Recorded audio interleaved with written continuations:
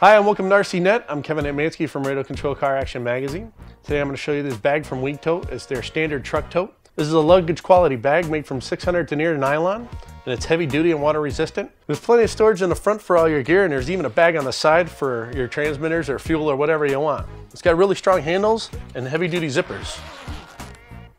And the front pockets have Velcro to keep the flap down. You'd be surprised what you can fit inside this thing.